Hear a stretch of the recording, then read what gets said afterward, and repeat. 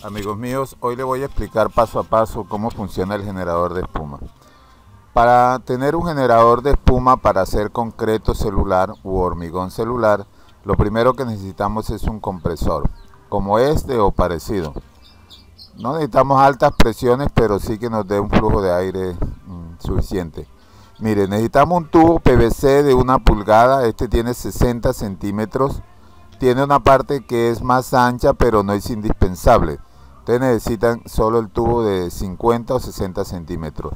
También necesitan un recipiente, ojalá metálico, eh, entre más grandecito mejor.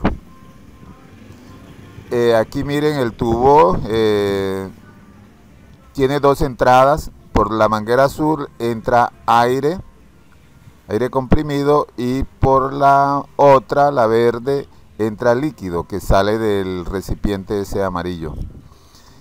Eh, ahí en la punta ustedes ven que eh, se le meten esponjas de estas láminas, de estas de brillar ollas, ¿sí? Y el taponcito como grueso que le ponemos en la punta es para que estas esponjas no se salgan, eso es todo. Ustedes ahí pueden poner un tapón sencillo y le hacen unos huecos para que salga la espuma y eso es todo. Así como se le pone el tapón a la entrada.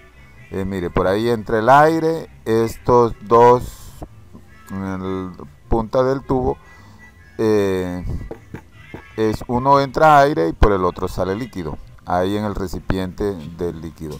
Esta manguera, eh, la punta va conectada al compresor, eh, tiene una T en el medio, esa que ustedes están viendo, porque uno se desvía para el recipiente del líquido del agua de jabón y el otro pasa directo para el cañón de espuma.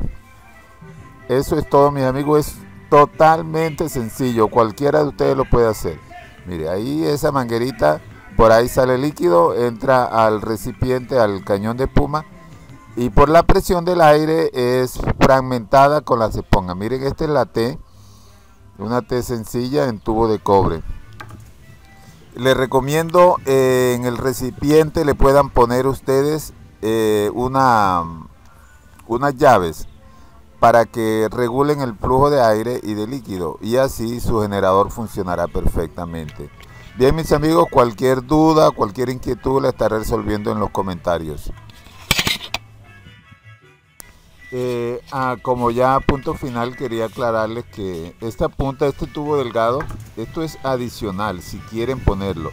Esto es por si quieren usar su generador para lavar su vehículo, porque esto hace que la espuma salga con fuerza y puedan usarlo para este ítem. Eh, pero es totalmente opcional, no es necesario para nuestro proyecto de generar espuma para concreto celular. Eso es todo mis amigos.